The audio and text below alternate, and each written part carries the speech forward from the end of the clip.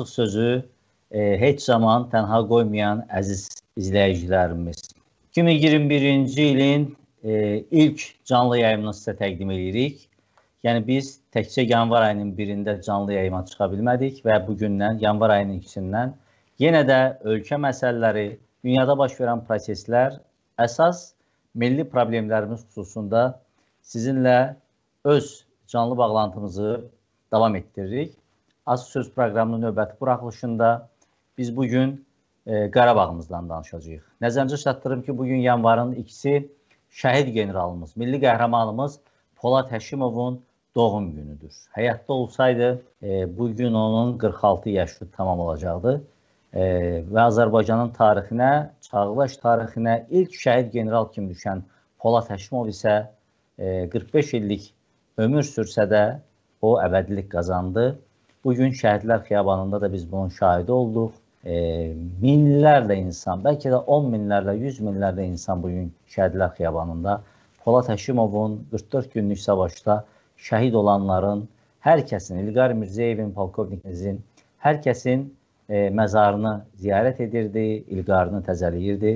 Ruhları şad olsun. Polad generalımızı doğum günündə sayğı və rəhmətlə yad edirik. Mövzu vətəndir, mövzu Qarabağdır. Bugün yenə də çox dəyərli bir qonağımız var və ötən il Qarabağımıza baş verən e, proseslər və 2021-ci ildə Qarabağda nə etməliyik millət olaraq, dövlət olaraq.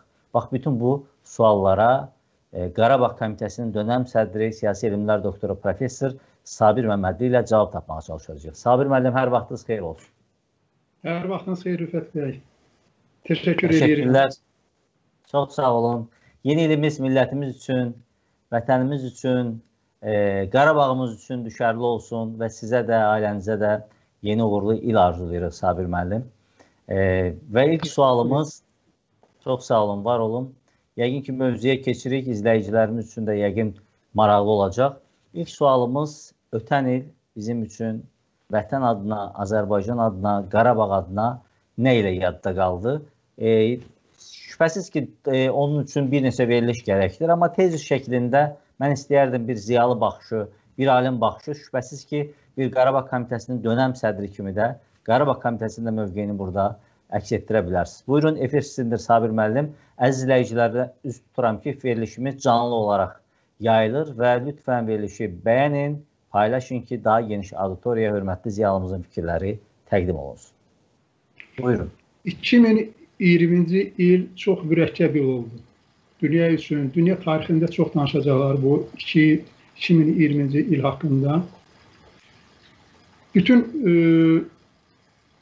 çalarva baxımından, bütün istiqamətlər diqqətə yetiriləndə görürük ki, həqiqətən bu il həm dünya tarixində, həm Azərbaycan tarixində dərin iz buraxmış bir il olacaq. Bu il Azərbaycan şəhidləri, Azərbaycan qaziləri bizim millətimizin başını uca elədilər. Biz Azərbaycan şəhidlərinə Allahdan rəhmət diləyirik. Azərbaycan qazilərinə şəfa diləyirik. Generalımıza və bütün əskərlərimizə Allahdan rəhmət diləyirik şəhidlərimizə. 2020-ci il çox mürəkkəb başladı. Həm də o mənada ki, əgər xatırlayırsanızsa, biz Qarabağ Komitəsi olaraq yanvar ayında Azərbaycan cəmiyyətinə milli müharibə strategiyasını təqdim etmişdik və bu strategiya geniş müzakirə olunurdu. Və hətta yanvar ayında bir çox mətbuat orqanları, saytlar belə başlıqlarla çıxış edirdilər ki, hər yer müharibə, hər gün müharibə. Çünki cəmiyyət, Azərbaycan xalqı doğma torpaqlarımızı azad etməyə çalışırdı və bu istəkdə idi, bu məqsəddə idi. Fevral ayında, əgər siz xatırlayırsınızsa da, Münxendə deməli təhlükəsizlik konfransı keçirilmişdi və orada e, e, canlı debat keçirildi və e, Azərbaycan dövlət başçısı və Ermənistanın baş naziri həmin debatda iştirak etdilər. Bu debat onunla yadda qaldı ki, Ermənistan sülh yolu ilə bizim torpaqları qaytarma fikrində deyil. Çünki əvvəlki bütün razılaşmalardan faktiki olaraq boyun qaçırdı, masadan uzaqlaşdırdı və məhz bu baxımdan e, deməli bu e, konfrans yadda qaldı.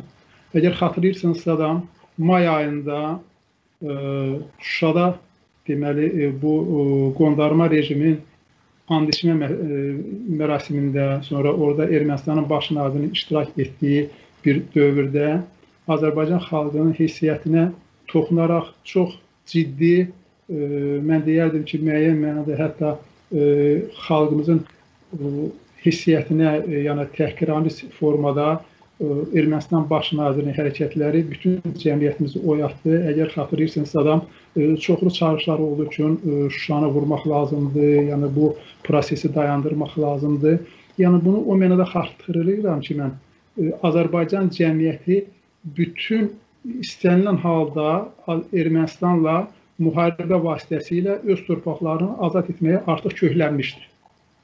Və bu prosesin davamı olaraq siz xatırlayırsınız, e, iyul ayında Tovuz hadisələri baş verdi və bu Tovuz hadisələri də mən e, fikirləşirəm ki və bu fikirdəyəm ki, birbaşa Rusiyanın təhriki ilə Ermənistan məhz bizim Azərbaycandan e, qərb ölkələrinə gedən Türkiyə vasitəsilə, Gürcüstan vasitəsilə Türkiyəyə gedən bizim boru xətlərinin, strateji xətlərin e, istiqamətində məhz bu əməliyyatları başladı Və bu hadisələr də bir daha onu göstərdi ki, e, bizim e, xalq, bizim millət heç vaxt bu məğlubiyyətlə e, barışa, barışası deyil və dünyaya sübut etdi ki, istənilən halda müharibə yolu ilə, müharibə vasitəsilə öz torpaqlarını azad edəcək. Əgər e, xatırlayırsınızsa, bizim e, siz də e, çox gözü, e, gözəl xatırladınız. Bizim e, şəhid generalımız Allah rəhmət eləsin, E, Polad generalımız və onun şəhid olması bütün cəmiyyəti çalxaladı və e, bir gecədə bunu xüsusi vurğulamaq istəyirəm.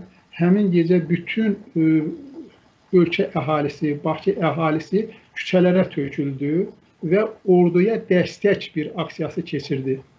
Mən açıq deyim ki, elə də düşünürəm ki və bunu da müşahidə etdim ki, bizim hətta hakimiyyət orqanları da müəyyən mənada bu dərəcədə böyük dəstəyi göz, gözlə, e, gözləmirdilər. Amma xalq yalnızca e, neftçilərdən başlamış, 8 kilometrdən başlamış, deməli Fəhlə prospekti ilə, sonra Moskva e, keçmiş e, Moskva indiki Heydər Əliyev prospekti ilə şəhərin mərkəzinə doğru e, yürüş etdilər. Sonra e, deməli Azadlıq meydanından e, Şəhidlər xiyabanına doğru və bu artıq onu göstərdi ki, xalq dayanmaq istəmir. Xalq düşmənə qarşı, düşmənin üzərinə yerimək istəyir və e, ordudan, Azərbaycan hakimiyyətindən tələb edir ki, müharibəni başlamaq lazımdır. Bu qədər dözümlü yanaşmaq olmaz məsələlərə və torpaqlarımızın azadlığı uğrunda artıq hərbi e, hərəkətə keçmək lazımdır. Qeyd edim ki, həmin dövrdə e, kifayət qədər e, Azərbaycan hakimiyyəti bu məsələləri nəzərə aldı və e, belə məsələlər əslində Azərbaycan hakimiyyətinin əlini gücləndirir ki, bəli, cəmiyyət istəyir, cəmiyyət artıq müharibə əhval-ruhiyyəsindədir və hərbi əməliyyatları e, birbaşa keçirmək lazımdır. Və proseslər e, gəldi 27 sentyabra. 27 sentyabrda Azərbaycan ordusu, Azərbaycan əskəri canını fəda edərək Azərbaycan torpaqlarının işğal işğaldan təmizləməyə başladı. Və mən açıq deyim ki, bu müharibə haqqında çox yazacaqlar. Bu müharibənin hərbi texniki istiqaməti haqqında, sonra hərbi siyasi e, aspektləri haqqında, bu müharibənin e, dünya mətbuatında işıqlandırılması məsələsinə diqqət yetirəcəklər. Bu müharibənin hətta mən açıq deyim ki, dünya tarixinə təsir etmək baxımdan bir sıra e, məsələlərə diqqət yetirəcəklər. Məsələn, yeni silahlardan istifadə edilməsi və s. Bu mənada ki, fikrimi bir qədər dəqiqləşdirim. Yəni biz e, tarixən də bilirik ki, e, yeni silahlar bir çox imperiyaların sonunu yaxınlaşdırıb, sonunu gətirib. Məs ənənəvi silahlar səhnədən çıxır, yeni silahlar devrəyə girir və bu da imperiyaları dağıdır. Tarixən də belə həmişə olmuşdur. Bu haqda biz e, söhbətimizə yəqin ki, e, demək bu məsələləri vurğulayacağıq. Amma mən e, ilk növbədə onu qeyd etmək istəyirəm ki, məhz iyul ayından başlayaraq bu artıq gizli deyil. Mən elə başa düşürəm bunu cəmiyyətimiz də bilməlidir, bunu mütəxəssislər də bilirlər. Xarici mətbuat geniş yazır. Türkiyə bizə çox böyük dəstək verdi. Kanada mətbuatından tutmuş Rüfət bəy, düz Kipr mətbuatına qədər bir çox analitik yazılarda qeyd olunur ki, Azərbaycanda həmin o, o təlim dövrlərindən sonra Türkiyənin ən yüksək səviyyəli, ən bacarıqlı mütəxəssisləri Azərbaycanda qaldılar və Azərbaycan ordusu ilə paralel olaraq bu işlərin e, demək e, nizama qoymağa başladılar. Hətta adlar çəkirlər, elə adlar çəkirlər ki, mən deyim də bu xarici mətbuatda deyil, gedir, bu gizli deyil. Məsələn, e, briqada generalı e, Bəxtiyar Ersay bu e, çox e, möhtəşəm bir e, şəxsdir. Bütün e, deməli planlaşdırma işində e, Azərbaycan ordusunun əməliyyatlarının planlaşdırılmasında, qərar e, bizim baş qərargahın işinin tənzimlənməsi məsələsində bir e, mütəxəssis kimi, böyük bir hərbiçi kimi bu məsələləri demək nizama ə, qoymağa çalışdı və uğurla da bunu nail oldu. Sonra bizim hərbi hava qüvvələri sahəsində həmin o, o deməli bayraqdarlardan istifadə edilməsi, e, hərbi e, hava qüvvələri vasitəsilə kəşfiyyat əməliyyatlarının həyata keçirilməsi, peyk vasitəsilə əldə edilən məlumatların araşdırılması, istifadə edilməsi məsələsində e, briqada generalı e, Göksel Kahya formada iştirak etmişdi və bu da yazılır, dünya mətbuatında yazılır. Bunu ilk deməli bu şəxs haqqında, bu mütəxəssislər haqqında Kanadalı bir publisist yazmışdı, Michael e, Mikhailovic. Və e, sonra da o da görünür ki, e, bir e, hərbi e, deməli mənbələrdən bu e, informasiyanı əldə etmişdi. Sonra planlaşdırma üzrə bəy Türkiyə e, general leytenant e, Şərəf bəy e, deməli bu o, proseslərdə iştirak etmişdi. Və demək istəyirəm ki, Türkiyə e, Müdafiə Nazirliyi, Türkiyə rəhbərliyi canla başla Azərbaycan xalqına, Azərbaycan ordusuna bütün imkanlarla, bütün vasitələrlə kömək etməyə çalışdılar və buna da nail oldular. 44 günlük müharibə əgər e, sırf hərbi ə, e, texniki baxımdan getsək, yəni bu o, bizim tamaşaçılar üçün də çox maraqlı olar o fikrə qadirəm ki, həqiqətən yeni silahların istifadə edilməsi tamamilə yeni ab-hava yaratdı. Əgər e, tarixə diqqət yetirsək, məsələn, siz bilirsiniz ki, e, Makedonlu İskəndər vaxtı ilə e, e, üçüncü Dara e, hökmdarına və onun çox minli e, deməli minlik e, qoşununa, e, qoşunlarına Qavqamela e, döyüşündə necə qalib gəlmişdi? Biz orada bilirik ki, yəni e, illər boyu, 10 illər 10 illər ərzində e, Fars e, de, imperiyasının, Əhəmənilər imperiyasının böyük ordusunun e, o qələbələrinin əsasında məhz iki təkərli e, deməli müharib arabaları e, dururdu və ona geniş istifadə etməklə çox böyük itkilərə e, məruz qoydu düşməni. Makedonlu İskəndər çox asanlıqla bu silah növünü deyək ki, çıxartdı sıradan və bununla da Əhəmənilər dövləti faktiki olaraq sarsıldı və parçalandı. Üçüncü dara siz bilirsiniz ki, qaçmağa məcbur oldu və s. Yaxud da ki, bizim Şuşanın fatihi olan generalımız Hikmət Mirzəyevin deməli əməliyyat planını mən diqqət yetirmək istəyirəm. Əgər yadınızdasan, vaxtı ilə məsələn Makedonda İskəndər az ordu ilə deməli e, kiçik, demək döyüş vaxtı kiçik bir dəstəklə e, aranı yarıb birbaşa Daranın e, düşərgəsi üzərinə hücum edib də və onu qaçmağa məcbur edəndə bütün faktiki olaraq ordunu pozmuşdu.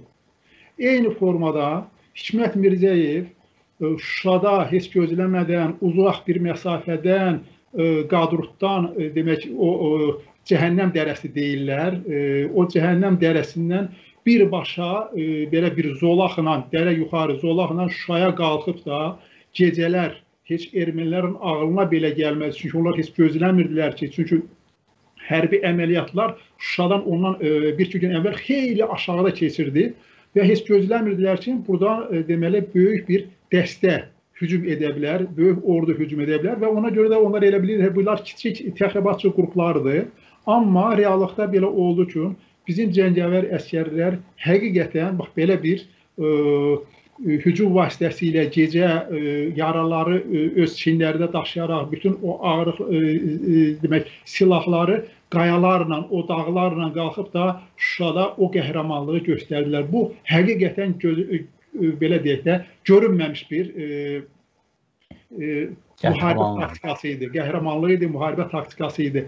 Və mən açıq deyim ki, bir çox ölkələrin dünya informasiya vasitələri məhz bu e, məqamı da xüsusi vurğulayırlar ki, heç e, gözləmədikləri anda düşmənin bax belə bir uzaq məsafədən belə bir çıxarış edib də Şuşaya daxil olub da bu o, deməli əlbəyaxa döyüşlərində hətta düşmənə qalib gəliblər.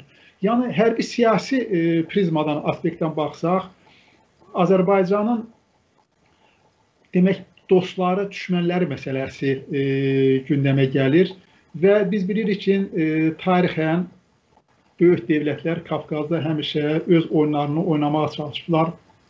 İstər Rusiya, istər e, deyək ki, e, Fransa ya Amerika Birləşmiş Ştatları və başqaları.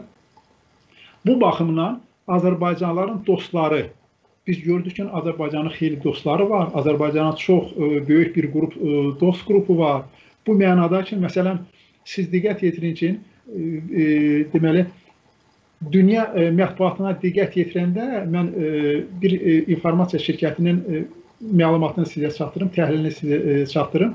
Ə, LexisNexis belə bir şirkət şirkəti o sifariş əsasında müəyyən informasiya agentliklərə, mən Reuters-ə, France Press-ə, TASS informasiya agentlikləri sifarişi əsasında müəyyən təhlillər aparır ki, dünya mətbuatı üzrə.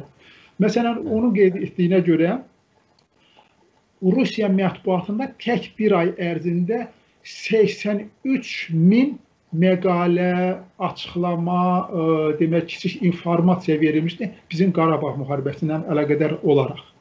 Amerika Birləşmiş olaraq o 83 min məqalə və yaxud da açıqlamanın mövqeyi necə idi? Rusiyanın ənənəvi mövqeyi idi ya e, obyektiv mövqelər də olub? Bunu e, araşdırıblarmı hörmətli Sabir müəllim?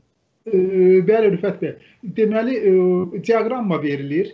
Diaqrammadan görünür ki, e, Rusiyanın e, ilkin e, dövrdə, müharibə başlanan dövrdə demək olar ki, əksər erməni pərəst mövqe sərgiləyir. Əksər e, deməli kiçik bir həcmdə məqalələr neytral mövqe sərgilir, amma hadisələrin gedişin, e, gedişində artıq müəyyən qədər neytrallığa doğru çəkir və son dövrlərdə faktiki olaraq, yəni e, görünür bu sülh məramlarının yerləşdirilməsinə əlaqədar və s. son dövrlərdə bir qədər artıq Azərbaycana rəğbətlə yanaşırlar. Biz də kütləvi informasiya vasitələrindən görürük ki, bir çox ə, e, Rusiya politoloqları, şərhçiləri birbaşa Azərbaycanın mövqelərini müdafiə edirlər. Eyni zamanda yəni, ictimai rəyə təsir göstərmə mexanizmlərdir. Yəqin siz mütəxəssis kimi bunu özünüz bəli, edirsiniz. Bəli.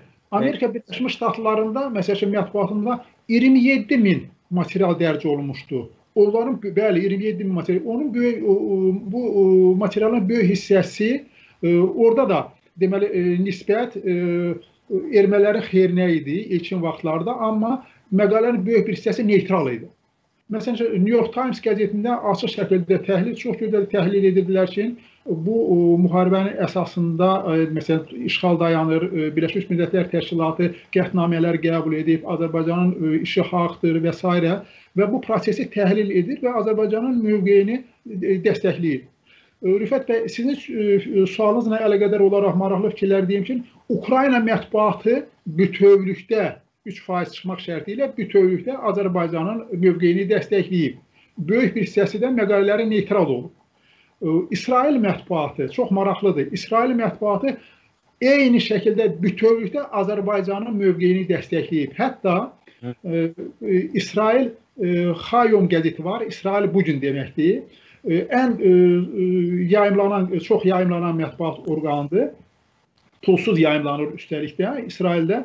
O açıq e, şəkildə yazırdı. İlk e, demək saylarla yazırdı ki, biz nəyə görə e, neytral mövqe sərgiləməliyik, bir tərəf mövqe sərgiləməliyik. Biz Azərbaycanın dostuyuq, biz bunu açıq bildirməliyik. Çünki Azərbaycanda yahudilər heç vaxt sıxışdırılmayıb. Yahudilərə ən gözəl şərait yaradılıb. Dövlət e, yahudilərə sinaqoq tikdirib. E, yahudilərə hər cürə dəstək verir, amma Ermənistanda bunu etməkdir. Ermənistan yahudilərə nə ə, e, maraq göstərib, həmişə bizim əleyhimizə olublar və bu mənada açıq müraciət edirdi ki, biz qətiyyən neytral qalmalıyıq, açıq dəstək verməliyik. Eyni formada Yeruşalim Post qəzeti. Yəni e, bizim bunu ona görə vurğulayıram ki, bizim cəmiyyətdə İsrail e, cəmiyyəti haqqında təs təsvirlər olsun ki, az materiallar gedir, az informasiya gedir. Məhz bu mənada biz bilməliyik ki, İsrail cəmiyyəti, İsrail mütəxəssisləri də, politoloqları da həmişə obyektiv E, yanaşıblar və qeyd edirlər ki, biz e, e, Azərbaycandan enerji resursları alırıq, neft alırıq. 40-50% ölkənin neft ehtiyatlarını Azərbaycan neftin deməli hesabına biz ödəyirik. Bu mənada biz Azərbaycanla həm strateji yaxınıq, həm də ki, onu dəstəkləməkdə davam edəcəyik və gələcəkdə də həmişə birgə olacağıq. Bunu açıq yazırlar, heç gizlətmirlər. Və bu prosesdə Pakistanın da rolunu xüsusi qeyd etməliyik. Pakistan da açıq dövlət yəni hökumət başçısı səviyyəsində dəstək verdi. Yəqin ki, mediada da bu özünü göstərib. Təbii Rüfət bəy, yəni sizin sözünüzə diqqət yetirin. Pakistanın Müdafiə Nazirliyinin binasında Azərbaycan bayrağı asılır. Yəni bu çox möhtəşəm bir faktdır, ya bu münasibətin formasıdır. Və nəzərə alsaq ki, yəni Pakistan həm texniki vasitələrlə, həm də nəzərə alsaq ki, yəni nüvə silahına malik olan ölkə kimi Azərbaycana dəstək verdiyi üçün və Türkiyə ilə birgə dəstək verdikləri üçün bu bizim üçün çox böyük imkanlar yaratdı. Və bir çox ə, e, xarici qüvvələrin də qarşısında bu bir ə, e, sədd olaraq qaldı. Demək müəllim, e, bizi izləyənlər, bizi izləyənlər xüsusilə Mir İslam Cavadov, Mehriban xanım, Aynur xanım, Sizi də salamlayırıq. Mirislam bəy, canlı e, bağlantıdır. E, təkrar deyil veriliş. Yəni veriliş sadəcə olaraq bu verilişlər Kanal 13 e, televiziyasında da yenidən yayımlanacaq ki, daha geniş auditoriyaya, daha böyük ölkənin ən böyük e, deməli internet platformasından da yayılacaq. Nəzərinizə çatdırıram. E, mən istəyərdim ki, bu dönəmdə e, mən əziz izləyicilərimizə müraciət edeyim ki, lütfən verilişimizi e, canlı verilişimizi siz də bəyənin, paylaşın ki, e, bu verilişimiz auditoriyası daha genişlənsin və hörmətli ziyalımızın professor Sabir Məmmədlinin fikirləri daha geniş e, izləyici kütləsinə çatsın. Mən düşünürəm ki, e, bu savaş haqqında, 44 günlük savaş dönəmi haqqında verilişlər çəkmək olar, verilişlər danışmaq olar. Amma bizim üçün o 8 noyabr gerçəkdən e, bu savaşın apogeyi idi, hər zaman deyirəm, zirvəsi idi. E, amma təəssüflər olsun ki, 10 noyabrdan sonra fikirlər haçalandı. 44 gün hər kəs eyni hədəfə doğru döydü, eyni hədəf uğrunda savaşdı. Amma 10 noyabrda e, 27 il sonra Rus qoşunlarını yenidən bura dəvət etmək cəmiyyətdə fərqli, haqlı olaraq da fərqli cür e, qəbul edildi və hal-hazırda da bizim belə deyək də E, Rus qoşunlarının Azərbaycanda qalması ilə bağlı artıq millətin ümumi fikri formalaşmaqdadır. Baxmayaraq ki, noyabrın ortalarında, dekabrın əvvəllərində e, bəzi hakimiyyət çevrələrində olanlar çalışdılar ki, e, bu Rus dırnaq içində sülh məramlarının Azərbaycanda olmasına bir don geydirsinlər. Amma millətin iradəsi ortadadır. Bu gün şəhidlərimizin məzarı üstündə də millətin iradəsi ortada idi. Dünən də belədir, sabah da belə olacaq. Mən istəyərdim noyabrın 10-undan sonra durumu bir alim kimi, bir siya e, siyasi mütəxəssis, siyasi elmlər mütəxəssisi kimi və təbii ki, Qarabağ komitəsinin də burada mövqeyi əks olunacaq.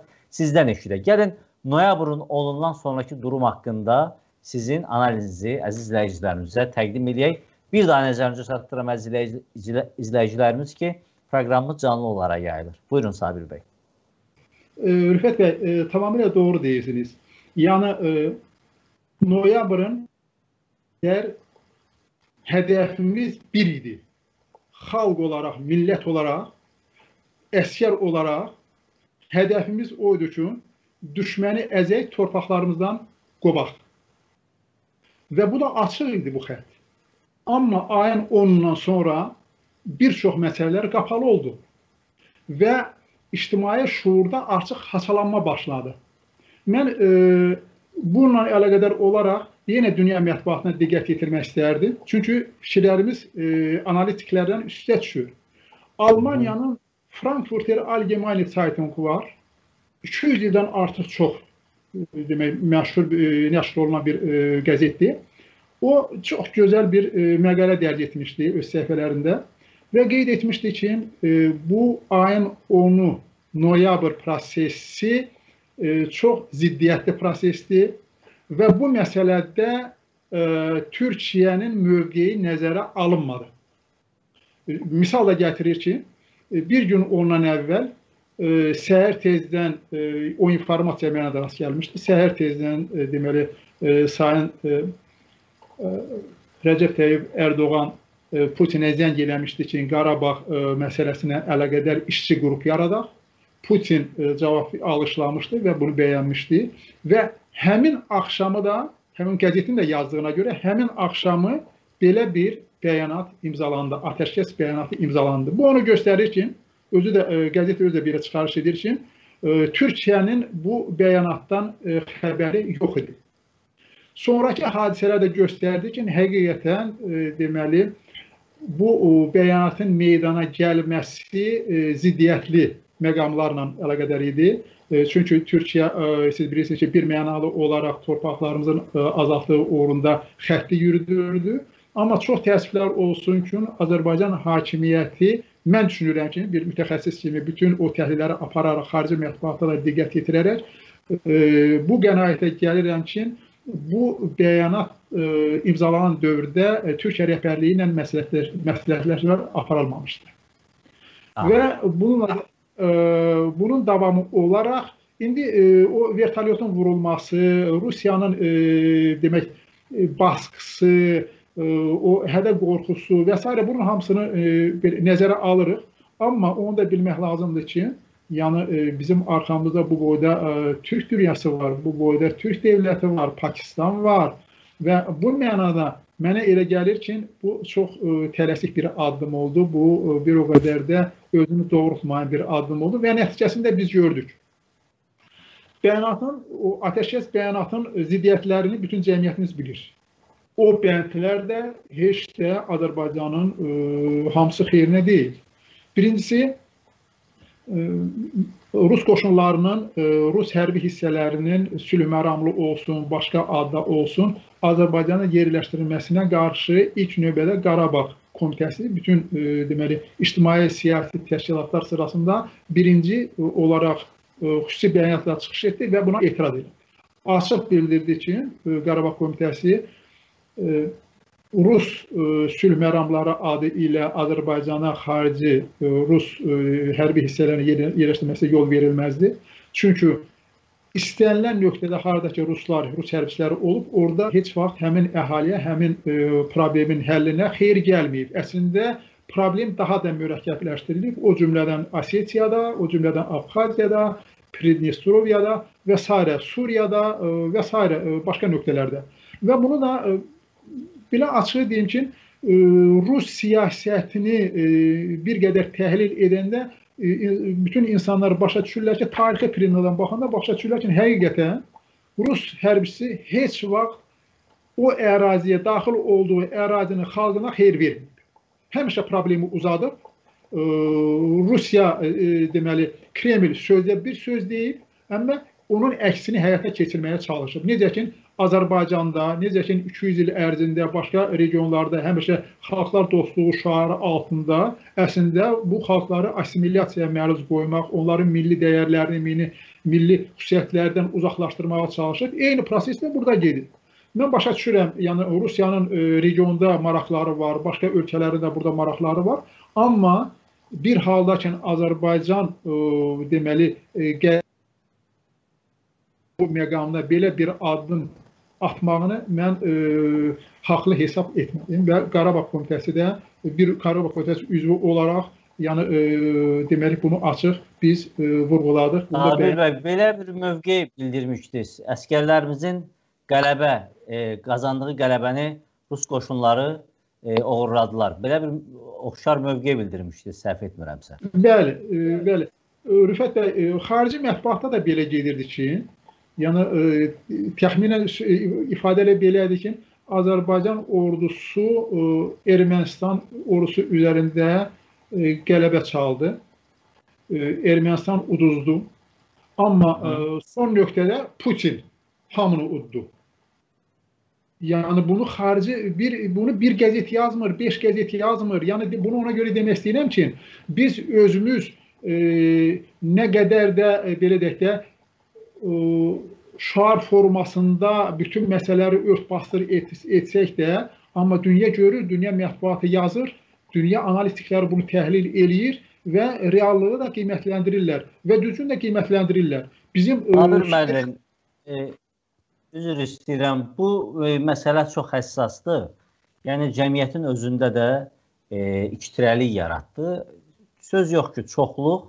Yəni Azərbaycanın çağdaş tarixində 20 yanvar faciəsini görən, Xocalı soyqırımını görən, 2009-cu ilin 30 aprel e, terrorunu görən və biraz da geri qayıtsaq 1918-ci il mart qırğınları görən, 20-ci il 27 aprel, 28 aprel qırğınlarını görən, 30-cu illərdə kütləvi şəkildə Azərbaycanda düşünən beyinləri məhv edən, 48-53-cü illərdə soydaşlarımızı deportasiya edən öz dədəbaba yurdlarından e, Rusiya haqqında, Kreml haqqında söhbət Rus xalqından getmir. Bu gün Bakıda da, başqa yerlərdə də e, Ruslar var ki, çox normal münasibətlərimiz də var insan olaraq, amma söhbət Kremldən gedir.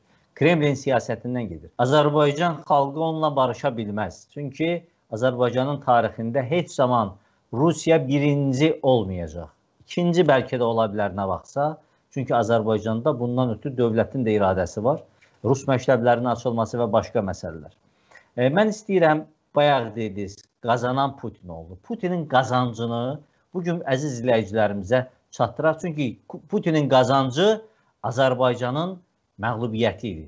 Putinin qazancı Azərbaycan əskərindən çaldığı, necə deyirlər, qələbə idi. Putinin qazancı 27 il bundan qabaq qovğulan Rus əskərinin yenidən Azərbaycana gətirilməsi də yenidən o buxovları bizim boğazımıza sancma, e, salmaqdır. Mən istəyərdim e, bu bir neçə cümlə ilə istəmirəm çox geniş analiz verə, çünki bu gün biz istəyirik ki, Bu gün nə işlər görməliyik? 2021-ci ildə millət olaraq, toplum olaraq, dövlət olaraq hansı işləri görməliyik? Mən bunun cavabını sizdən eşitmək istəyirəm.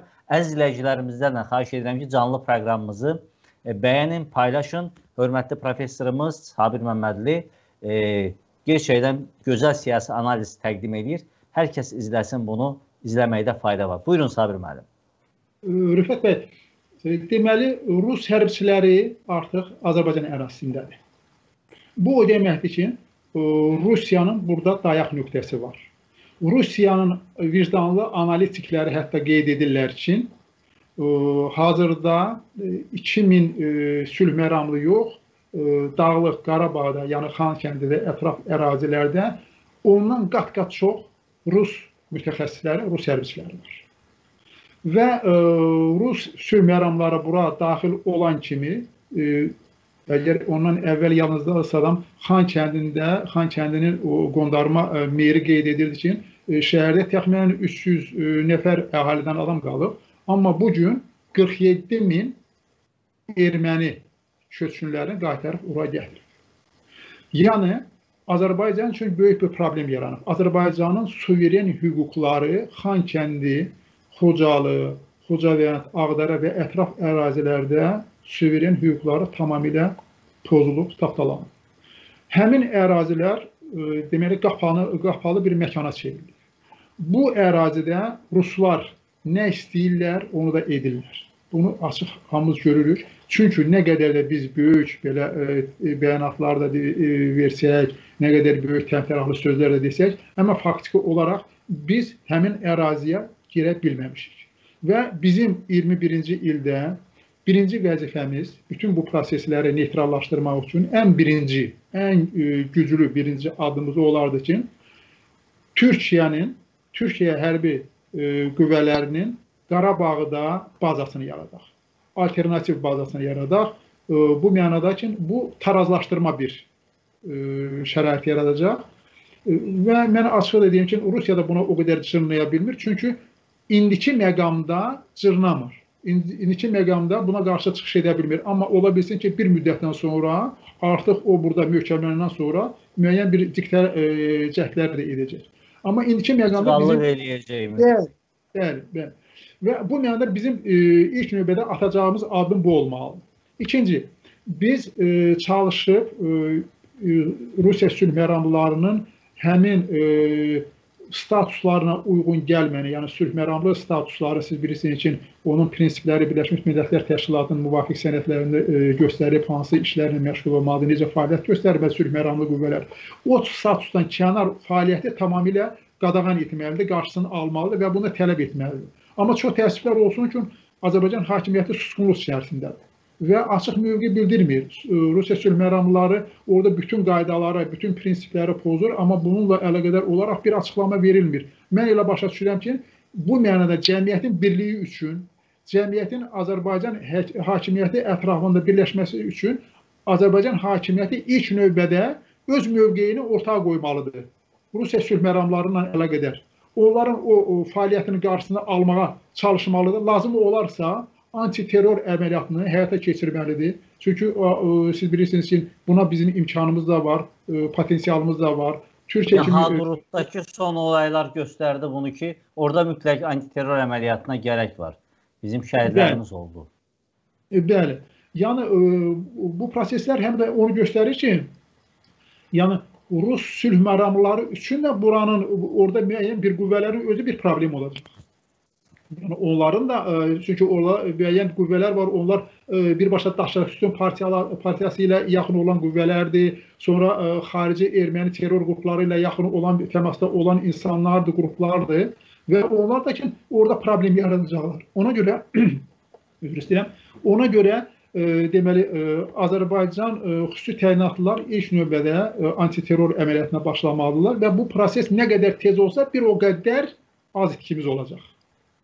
Məsələ burasındadır. E, Sabir müəllim, siz fikirlərinizdən birində, daha doğrusu e, dekabrın sonunda qardaş Türkiyənin müdafiə naziri hörmətli Hulusi Akar Bakıda idi. Bakıda olarkən bir ifadə işlətdi və siz o ifadəni özünüz də öz sosial şəbəkənizdə paylaşmısınız ki, Azərbaycanlı qardaşlarımızın hüquqlarını müdafiə etmək vəzifəmizi yerinə yetirəcəyik. Türkiyə 10 noyabr e, bəyanatı ilə bağlı məlumatlandırılmayıb. Yəni o prosesdə olmayıb. Bunu siz bayaqları qeyd etdiniz. Yəni Türkiyə belə deyə oyundan kənarda qalıb. Amma Türkiyə hərbi paradda yanımızda idi. Türkiyə ondan sonraki proseslərdə də Azərbaycanı dəstəklədi. Birbaşa İlham Əliyevə açıq dəstək e, nümayiş etdirdi.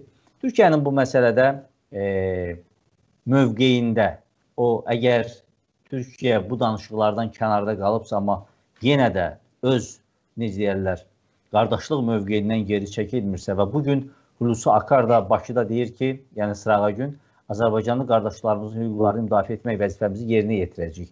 Necə Türkiyə bu prosesə e, e, daxil olmaq istəyir? Çünki bundan ötürü vaxtilə biz iyul, e, iyul ayında e, Azərbaycan və Türkiyə arasında hərbi təlimlər keçiriləndə Mənim yadımdadır Türkiyənin tanınmış hərbi ekspertlərindən biri e, Abdullah Ağar qeyd etmişdi ki, bundan ötürü Azərbaycan dövlətinin iradəsi olmalıdır. Azərbaycan dövləti bizi dəvət eləməlidir. Bu gün bu prosesdə Türkiyənin sülh məramlarının tərkibində olması, xüsusi müşahidə qruplarında e, yüksək səviyyədə təmsil olunmam olunmaması sizcə bunu göstərir Azərbaycan hökuməti bununla bağlı kifayət qədər sərt e, və cəsarətli iradə ortaya qoya bilmir. Mən istərdim ki, bunu sizdən mütəxəssis kimi cavabını eşidək. İzləyicilərimizin də nəzərinə çatdırıram ki, verilişimiz canlı e, deməli davam edir. Hörmətli professorumuz, siyasi elmlər doktoru Qarabağ Komitəsinin dönəm sədri Sabir Məmmədli verilişimizin qonağıdır. Lütfən bəyənməyənlər də verilişimizi bəyənsinlər. Buyurun Sabir müəllim. E, Türk e, ordusu üçün, e, Türkiyə üçün Qarabağ məsələsi türk dünyasına açılan qapıdır. Bunu hamımız qəbul edirik. Və bu baxımdan da istənilən halda Türkiyə dövləti Qarabağ məsələsinə həm Azərbaycanın haqq deməli işinə dəstək vermək, həm də türk dünyasına qapını açmaq istəyir. Bunu deməli İsrail mətbuatı da yazır, bunu açıq formada deməli Türkiyə mətbuatı da yazır. Bu deməli məsələ aydındır. Və bununla əlaqədar olaraq Türkiyənin öz marağı var bu sahələrdə. Məsələn, İsrail mətbuatı qeyd edir ki, deməli Naxçıvandan e, Zəngilan e, e, xəttindən koridor açmaqla, dəhliz açmaqla e, Türkiyə Türk dünyasına qapını açmış olur və Xəzər sahələrinə çıxır. Buradan da bir boru kəməri atacaq, qəzetin yazdığına görə bir boru kəməri atacaq demək Orta Asiya, Türkmənistana və tamamilə yeni layihələr gerçəkləşəcək. Bu həqiqətən belədir. Yəni demək istəyirəm ki, Qarabağ məsələsi tək Azərbaycanın məsələsi deyil həm də Türkiyənin məsələsidir. Türkiyənin ən e, ciddi bir problemidir. Bu mənada e, Türkiyə prezidenti e, cənab Ərdoğanın bizim e, silahlı qüvvələrin burada paradında iştirak etməyi də həm də Türkiyənin marağıdır. Bəli. Həm Azərbaycana dəstəkdir, həm də Türkiyənin marağıdır. O mənada sözsüz ki, müəyyən soyuqluq, o, e, münasibətlərə soyuqluq yaransa da, Amma istənilən halda bu münasibətlər doğma münasibətlərdir və hər anda bunu qaydasına qoymaq olar. O ki qaldı e, deməli Akarın çıxışındakı o ifadə, bəli, Akar e, mən düşünürəm ki, yenə öz fikrində qalır. Sadəcə olaraq siz də doğru qeyd etdiniz ki, addım atmaq lazımdır, dəvət etmək lazımdır, cəsarətli mövqe ortaya qoymaq lazımdır ki, Türkiyə qoşunları e, Qarabağa gəlsinlər öz vəzifələrini yerinə yetirsinlər və Azərbaycan xalqının da hüquqlarını müdafiə etsinlər. Bəli. Sabir bəy, e, bizim izləyicilərimizdən bəziləri yazır və etiraz edirlər, niyə bizim e, fikirlərimizi səsləndirmirsiniz? Günəş xanıma təşəkkür edirəm. Muraz bəy, Zaur bəy, hər vaxtınız xeyir olsun. Aytaş xanım qeyd edir ki, mövcud hakimiyyət konkret olaraq prezidenti nəzərdə tutur. E, getməsə Rusiyada e, dayanmayacaq. E, bu yəni rusların buradan getməsi üçün mövcud hakimiyyət getməlidir. Bir siyasət mütəxəssisi kimi siz necə düşünürsüz? Mövcud hakimiyyət dövründə rusların buradan getmək e, imkanı varmı? Yəni hər halda mövcud hakimiyyət imzalayıb o bəyanatı. E, istənilən halda istənilən e, siyasi addım atılarkən cəmiyyətin mövqeyi nəzərə alınır. Bu həmişə belə olub. Bu mənada mən düşünürəm ki, əgər Azərbaycan cəmiyyəti ortaya e, deməli e, ziyalılar, ictimai təşkilatlar, siyasi təşkilatlar ciddi mövqe ortaya qoysalar ki, e, deməli ə, Rus sülh məramlarına qarşı Azərbaycan hakimiyyəti qəti mövqe sərgiləsin və onların ə, demək Qarabağdakı sülh məramlarının Qarabağdakı fəaliyyətinin qarşısını alsın Xan kəndində və başqa ərazi, ətraf ərazilərdə bizim suveren hüquqlarının bərpası üçün addımlar atsın, sözsüz ki, Azərbaycan hakimiyyəti bunu gedəcək. Yəni mümkün deyil. Çünki istənilən halda e, hakimiyyət orqanları xalqın, cəmiyyətin maraqlarını nəzərə, istəyini nəzərə alır. Və çünki əks halda özünə qarşı problem yarada bilər, e, bilim e, yaratmış olur onda. Bu mənada bunları nəzərə alacaq və üstəlik də ki, bizim e, Türkiyə kimi belə e, qardaş dövlətin nə istəyi bundan ibarətdir. Amma e, təəssüflər olsun ki, məhz bu e, hakimiyyətin susqunluğu, e, sülh məramları fəaliyyəti ilə əlaqədar susqunluğu problemləri çətinləşdirir. Ona görə açıq mövqenin ortaya qoyulması sözsüz ki, müəyyən aydınlıq, aydınlıq gətirəcək ə, fəaliyyətə və gələcək addımların da atılmasına şərait yaradacaq. O ki qaldı, ə, yəni sülh, ə, Rusiya sülh məramları öz başına buradan getməyəcəklər. Bu elə də deyil. Yəni mən açıq deyim ki, bax məsələn bir misal gətirək də sizə. E, bir çox e, ekspertlər e, qeyd edirlər və faktı vurğulayırlar ki, hal-hazırda Qarabağ Qarabağda olan hər bir erməni demək əhalisinin nümayəndəsinə hər həftə 5 kilogramlıq ərzaq paketi verirlər. 70 min, 50 min orada əhali yaşayır. Yəni mən o, o rusları da nəzərə tuturam və s. Bu ayda təxminən 1500-1700 ton ərzaq deməkdir. Yəni burada populyar adı sadəcə olaraq bunu qeyd edirəm. Və nəticədə belə olacaq ki, Qarabağ demək Rusiya üçün ikinci Əfqanistan olacaq. Yəni içəridən dağıdacaq. Çünki bu qədər, yəni ə, parazitar formada bu əhalini saxlamaq, bu bölgəni saxlamaq Rusiya üçün o qədər də asan deyil. Çünki Putin məsələn ə, ə, dövlət başçıları zirvə toplantısında toplantısında qeyd etmişdi ki, başqa ölkələri də cəlb etsinlər, yəni başqa MDB ölkələri də bu prosesi cəlb etsinlər, amma heç bir ölkə başçısı buna razılıq vermədi, çünki bu böyük bir problemdir. Yəni o belə çıxır ki, ölkənin e, büdcə vəsaitini həmin o, o boş məkana sərf etmək. Bu mənada Rusiyanın özü üçün Qarabağ e, gözlənilməz böyük bir problem olacaq. Və bunun da e, nəzərə almaq lazımdır ki, Azərbaycan cəmiyyətinin kifayət qədər böyük potensialı var ki, öz iradəsini ortaya qoysun. Mən düşünürəm ki, bu pandemiya dövründə müəyyən belə belə deyək də, o, o pandemiya ilə əlaqədar olaraq müəyyən təbii qadağalar nəzərə alınır. Bu belə kütləvi tədbirlərin keçirilməsi və s. buna imkan yoxdur. Amma mən elə başa düşürəm ki, bu proseslər bir qədər yumşalan kimi istər-istəməz Azərbaycan cəmiyyəti necə ki orduya dəstək e, demək e, tədbirini keçirdi bir gecədə. Eyni formada da Rusiya sülh məramları çıxarılması uğrunda e, demək e, ciddi addımlar atacaq.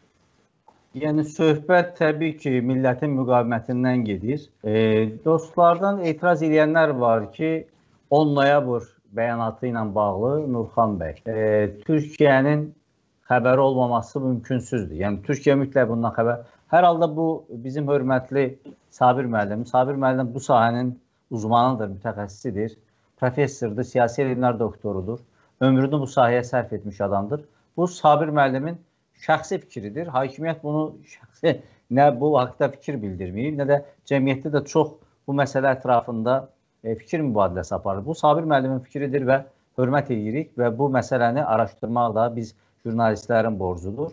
Sabir müəllim, e, bir məsələ də var. Yəni bizim verilişimizin e, 2021-ci ildə nə etməli olacağımız kimi bir mesajı var. Yəni çünki biz artıq 2000 21-ci ilin əvvəlindəyik. Yanvarın bu gün ikisidir. Yanvar ayının ikisində 2021-ci ilin Qarabağ üçün o peyzajını, o mənzərəsini, o panoramasını dizmək istəyirik. Yəni hörmətli siz alimimizlə. Sabir müəllim, e, Rusiya dırnaqçı sülh məramları e, Bərdədə, Gəncədə uşaq qatili Artunyanla açıq-aşkar işbirliyindədirlər. Buna Balasaryan da əlavə etmək olar. E, və açıq-aşkar manipulyasiyanın şahidi oluruq. Digər tərəfdən həmin Rüstəm Muradov e, belə deyə Azərbaycan xalqının ictimai fikrinə təsir etməkdən ötürü Dilqəmi Şahbazı təyyarə ilə Bakıya gətirib təhvil verməyə və bu da açıq-aşkar görünür. Bunu dərk etməməkdən ötürü e, primitiv ağıldan gələn məhrum olasan, əziz izləyicilərimiz. E, yəni bu bu qədər bizim millətin ictimai fikrinə otura bilməz Rusiya, yəni bu manipulyasiyalar. E, və yaxın günlərdə sizin Qarabağ Komitəsində bəyanatı olmuşdu ki, mütləq Artunyan və Balasalyan Qara e, Azərbaycan qandallanıb Azərbaycan məhkəməsi qarşısına çıxarılmalıdırlar. Mən bunu sizdən soruşmaq istəyirəm.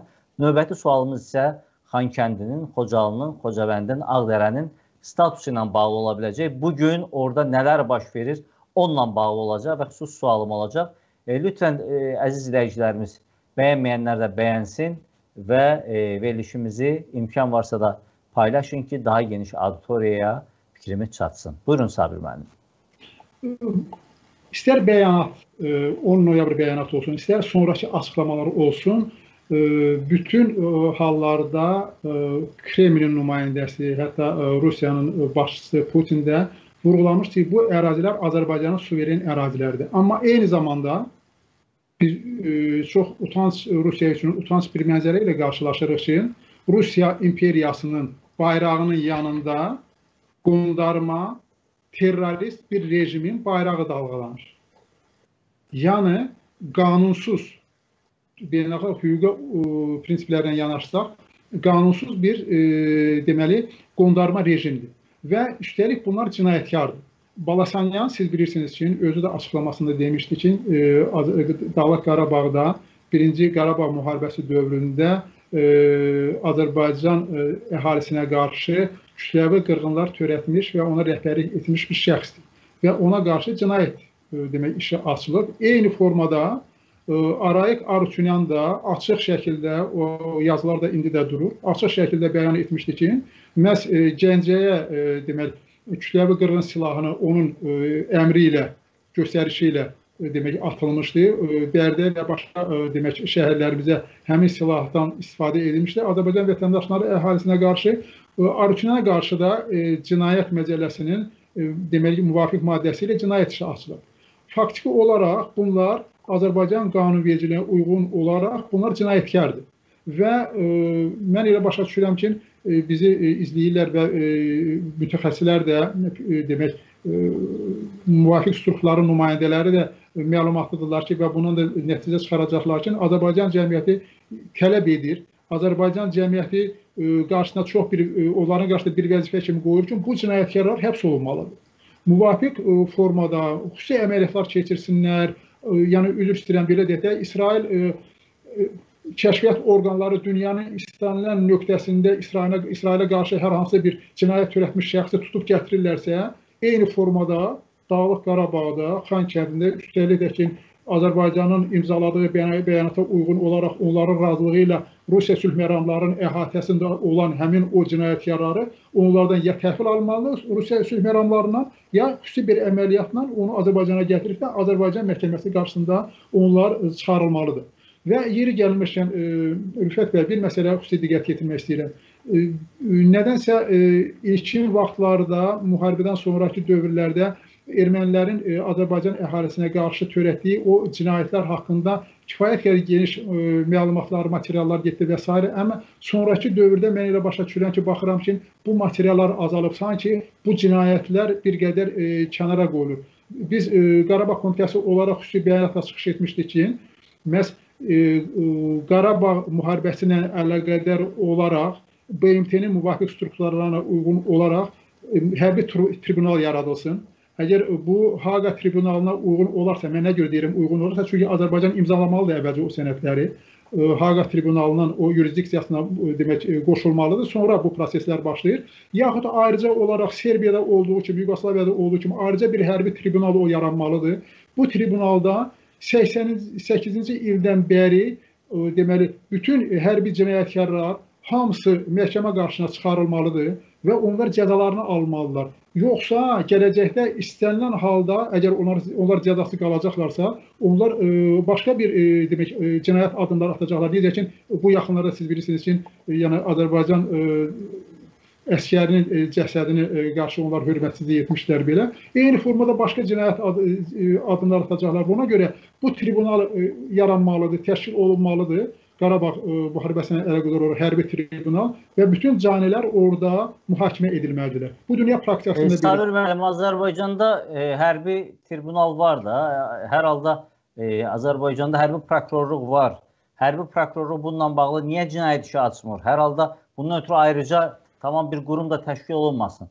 Məsələ aktiv fəaliyyətdən gedir. Məsələ siyasi iradədən gedir. Biz 44 gündə bunu gördük. Ondan sonra tam sükut sanki əsir olmuşuq biz e, Rus dırnaq içində o şərməramlı yazıbları mənə. Gerçəkdən bu nə deməkdir? Niyə e, hakimiyyət bu məsələdə susqunluq göstərir? E, Rüfət bəy tamamilə haqlı deyirsiniz. E, bu e, deməli bizim cinayət məcəlləsinə uyğun olaraq bu addımlar atılıb. Hətta bir e, xoş məqamı da mən deyim ki, e, deməli Türkiyənin Müdafiə naziri Akarlı e, görüşdə, yəni e, cənab prezident onu qəbul edərkən orada xüsusi olaraq bir məsələni vurğuladı ki, yəni Azərbaycan e, dövlətinə qarşı, Azərbaycan əskərinə qarşı hal-hazırda Qarabağda hər hansı bir e, erməni qüvvələri tərəfindən hər hansı bir addım atılsa, yaxud onlar əsir düşsə, onlar artıq müharibə əsiri hesab olunmayacaqlar. Onlar, yəni bu bəyanatdan sonra bu fəaliyyətlə məşğul olduqlarına görə onlar birbaşa cinayətkar, terrorist kimi mühakimə olunacaqlar və bu prosesi də bunlar etməlidirlər. Və yenə deyirəm ki, bizim də məhz Qarabağ Komitəsi olaraq bu məsələyə xüsusi vurulur ki, bu susqunluğa hakimiyyət son qoymalıdır. Siz qeyd etdiyiniz kimi, yəni fəal, aktiv öz münasibətini bildirməlidir və bundan da çıxış etməlidir gələcək üçün. Bunun da davamı olaraq antiterror əməliyyatı keçirilməlidir. Xan kəndində siz bilirsiniz ki, Rüfət bəy, Məsələn, Xankəndi və ətraf ərazilərdə bir çox yaşayış məntəqələri var ki, orada, kəndlər, qəsəbələr var ki, orada birbaşa Azərbaycanlılar yaşamışdı əvvəllər. İndi Şübhəsiz, bəli. Bəli. Ə, məsələn, birbaşa Rusiya sülh məramlarını tələb etmək lazımdır ki, kompakt şəkildə Azərbaycan köçkünlərini o əraziyə qaytarsınlar, o kəndlərə qaytarsınlar, o qəsəbələrə qaytarsınlar. Doğru. Sabir müəllim, məsələ budur ki, Xocalıda heç erməni də yaşamayıb. Biz Xocalı da bizdən bizdən çaldılar belə deyək ruslar. Yəni məsələn Xocavənddə e, tamam Əskəranda, indi Əskəran rayonu yoxdur təbii ki, amma Xankəndində çoxsu ermənilər idi, amma bizim orada əhalinin e, təxminən 5-dən biri Azərbaycan türkü olub. Və yaxud da Ağdərədə, Ağdərədə də qarışıq olub. Amma Xocalıda ümumiyyətlə erməni olmayıb. Niyə mənim Xocalıdan məhrum eləməlisən sən? Hansı haqla? Bax bununla bağlı mən səhv etmirəmsə 29 dekabrda ya 28-də Qarabağ Komitəsinin də e, ölkə prezidentinə və qardaş Türkiyə Cumhuriyyətinin e, Cumhurbaşqanı e, Sayın Rəcəb Tayyib Ərdoğana da sizin müraciətin olmuşdu. Nədir o müraciətin mahiyyəti və mən yenə də Xankəndi və Xocalı ilə bağlı mən istəyərdim ki, söhbətimizin yekununda sizin bir e, analizinizi əziz izləyicilərimizə təqdim edək ki, bu il nə baş verə bilər? Xocalı və e, Xankəndi və Ağdərə və Xocavənd. Bax bu e, bizim belə deyək, təmas xətti ki, nəzərdə tutublar, ruslar gəlib dayanıblar orada və bizi ora keçməyə imkan verməyiblər. Bax o bizim 2021-ci ildə ora keçməmizdən ötürü çünki ayın 11-də, ayın 10-unda, 11-də bəzi hakimiyyətin məddahları açıq-aşkar dedilər ki, Xankəndində Azərbaycan bayrağı dalğalanacaq. Xocalıda e, Azərbaycanın təyin etdiyi icra başçısı oturacaq. E, Xocavənddə e, sosial təminat şöbəsinin polisin rəisi Azərbaycan təyin edilir. Hanı? Hardadır bu? Tamam, Hadrutda oturub Xocavəndin bütün ərazisinə rəhbərlik eləmək olarmı? Və yaxud da Goranboyun Günəşli kəndində oturub Xocalıya və yaxud da ki, Xocavəndə rəhbərlik eləmək olarmı? Bunlar absurddur gerçəkdən. Bunlar kül üfürməkdir insanların gözünə. Ona görə mən istəyərdim ki, verilişimizin sonunda 2021-ci ildə, bax bu ildə, ilin əvvəlindik, nələr baş verəcəyini və nələr ola bilər. Bax onu da sizdən eşidək. Çünki milli iradə ortadadır. Hakimiyyətin iradəsi gərəkir, amma hakimiyyət buna iradə göstərsə nə olar, iradə göstərməsə nə olar? Əziz izləyicilərimizdən də xahiş edirik ki, proqramımızı bəyənsinlər, paylaşsınlar. Canlı proqramımız sizə təqdim olunur. Qonağımız siyasi elmlər doktoru professor Sabir Məmmədlidir. Buyurun Sabir bəy. Rüfət bəy, dəfələrlə vurğulanmışdı Türkiyənin e, deməli prezidenti e, səviyyəsində, müdafiə naziri səviyyəsində vurğulanmışdı ki, Azərbaycanın maraqlarını təmin etməyə çalışacağıq. Bu bizim bir borcumuzdur. Bəs bu mənada biz e, Qarabağ Komitəsi olaraq e, belə düşündük ki, belə-belə müzakirələr nəticəsində bunu qənaətə gəldik ki, məhz bizim maraqlarımızın e, müdafiəsi xalq olaraq, millət olaraq həm də Türkiyə öz boynuna götürdüyünə görə biz müraciəti həmin Azərbaycan prezidentinə ünvanladıq, o təkliflər paketini, həm də e, Türkiyə e, Cümhuriyyətinin e, başçısına e, Sayın Ərdoğana göndərdik. Bu mənada orada da bu, xüsusi olaraq vurğulanmışdı ki, e, Rus sülh məramlarının bu ərazidə törətdikləri həmin o qanunsuzluqlar, onların qapağı əraziyə çevrilməyi məsələsini vurğulamışdıq. Yəni bütün bu qeyd etdiyimiz məsələlərə yanaşı Azərbaycanın suveren hüquqlarının pozulması və s. bütün bunların hamısını vurma, e, vurğulamaqla biz e, bir sıra tədbirlər, e, təkliflərlə çıxış etmişdik. İlk növbədə siz doğru qeyd etdiniz ki, məsələn, hələ 80-ci illərin sonlarında Xan kəndində demək rəsmi statistikaya görə təxminən 6000 Azərbaycanlı yaşayırdı. Və bu Azərbaycanlılar bizim Dövlət Statistika Komitəsinin məlumatına görə 12 mindir hal-hazırda. Biz tələb edirik və Qarabağ Komitəsi də bu təkliflə çıxış etmişdi ki, e, Rusiya sülh məramları bir halda ki, Ermənistandan artıq bugün eşidirik ki, 47 min doları sayı, 47 min ermənini Qarabağa gətirirsə də, bizim Azərbaycanlı köçkünləri həmin o, o Xan kəndindən başlayaraq başqa ərazilərdə kompakt şəkildə yerləşdirsinlər və oranda silahlandırılmış, gücləndirilmiş bir rejimdə onların müharibəsini təşkil etsinlər. Bu bir. İkincisi, biz vurğulamışdıq ki, e, yəni e, Qarabağda e, Rusiyanın hərbçilərinin e, bu e, belə deyək, Azərbaycanın ziyanına olan fəaliyyətini neytrallaşdırmaq üçün Türkiyə Silahlı Qüvvələrinin bazası yaradılsın. Monitorinq deməli mərkəzinin işə salınması siz də görürsünüz. Yəni bu siyaq münasibətin nəticəsidir ki, neçə müddət artıq uzanır. Çünki hərbilər üçün bu monitorinq mərkəzinin yaradılması o qədər də uzun vaxt aparmalı deyildi. Üstəlik də ki, Ağdam bölgəsində. Bunu Şuşada elə bilərdilər. Bunu hardakı yəni artıq binalar var, müəyyən tikintiləri var. Yəni o ərazidə etmək olardı və bu da görünür ki, müəyyən mənada baxımdan o münasibətlərin siyuqluğundan irəli gələn bir e, məqamlardır.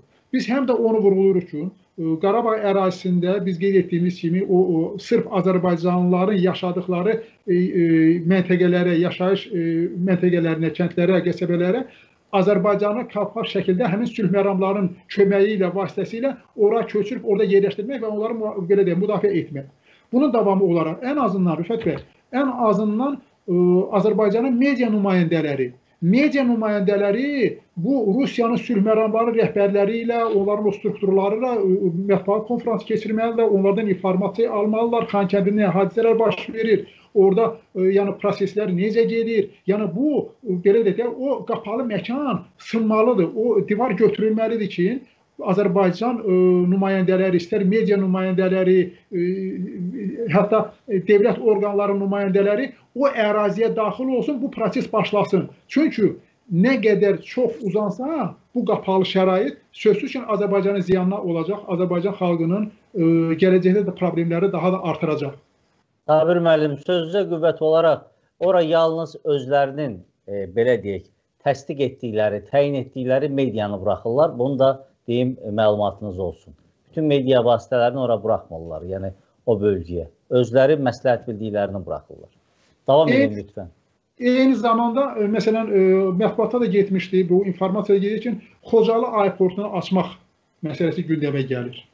Və bu da çox təhlükəlidir. Çünki əgər o aeroporta bizim gömrük komitəsi, bizim sərhədçilər, yəni Azərbaycan sərhədçiləri bu nəzarət sistemini yaratmasalar, Rusiyadan demək gələn uçaqların hamısı birbaşa Rusiya erməni məramlılarının necə ki bizim dinləyicimiz qeyd edir ki, o şər məramlılarının demək vasitəsilə orada o demək o prosesi nəzarətə keçirəcəklərsə, o Azərbaycanın ziyanına olacaq. Ona görə biz də həm də o tərəflər təkliflər siyasətində onu da vurğulamışdıq ki, Azərbaycanın sərhəd qoşunlarının, sonra dövlət Dövlət Gömrük Komitəsinin nəzarəti altında yalnız aeroportun fəaliyyətinə icazə vermək olar. Əks halda o Azərbaycanın ziyanına işləyəcək. Çünki artıq e, xaricədə çıxışları olacaq. Yəni Rusiya vasitəsilə bu da problemləri daha da artıracaq. Hə. Gələcək üçün Sabir bəy Bəli, buyurun, buyurun. Biz verilişin Gələ... sonuna yaxınlaşdıq, amma mən istəyərdim sonda e, əziz izləyicilərimizə də nələr baş verə bilər gələcək üçün onu sizdən eşidək. Elə madam ki özünüz deyirsiniz, çox təşəkkür edirəm. Buyurun Sabir bəy. Rüfət bəy, yəni bu addımları atmasaq, dünya mətbuatında da gedir bu, Rusiya şərhçiləri özləri də qeyd edirlər. Bizlər ki, özümüz də təhlil edir, görürük ki, bu məsələ əgər gələcəyə qalacaqsa da daha çətinləşəcək. Çox böyük problemlər yaranacaq. Çünki Azərbaycan isti-isti bu məsələləri həll etməsə, ya regionda vəziyyət dəyişə bilər, regionda demək Türkiyənin, İranın, başqa dövlətlərin burada maraqları başqa istiqamətlərə yönələ bilər və Azərbaycan üçün daha çətin ola bilər.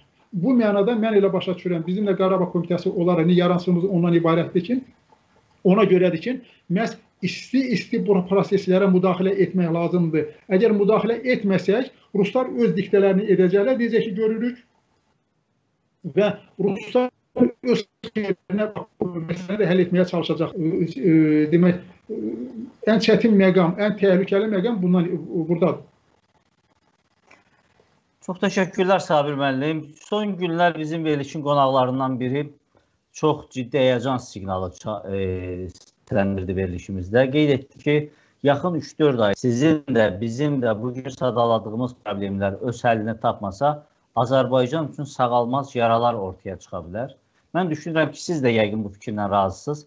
E, təcili təxirə salınmaz şəkildə bu problemlər həll olunmalıdır.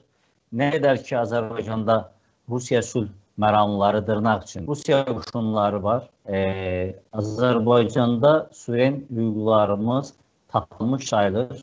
Mən e, üzülərək demək istəyirəm ki, bizim Qarabağa, Şuşada e, bizim əskərimizin oktyabr ayında deməli Cəbrayılda e, Füzuli, Zəngilan, Qubadlını deməli oktyabr ayında 4 rayonumuzu işğaldan azad et, etmişik.